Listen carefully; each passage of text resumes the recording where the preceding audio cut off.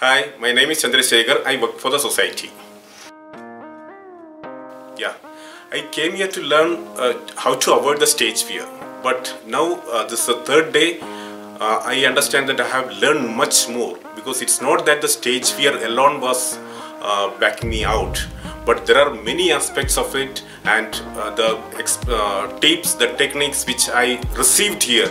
It's really fantastic. Means I think I can now uh, means need not to worry about any more about the stage fear. I can go to any stage without even preparing, and I feel that I can present excellent, uh, give an excellent presentation.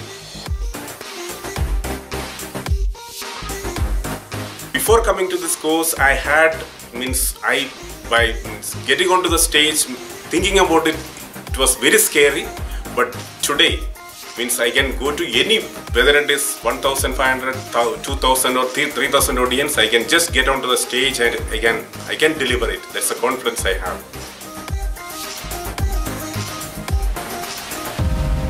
Bishal Sarkar means I can't explain in a single sentence the entire personality the dynamic personality he has and the uh, means the knowledge he has the repository of knowledge means how to the techniques how to improve the life as a whole. Not only the stage fear not only the means the connection with the audience but in your personal life as well. Because the complete man the making of a complete man the a complete individual that he explained during these three days and he was completely with us means the, and each and every moment where he was available to clear the doubts to teach us how to improve and that's it I like and he's a fantastic person.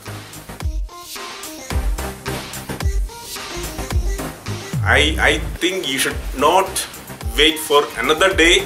You should come here, you should learn what is available, and you should go back as an excellent guide.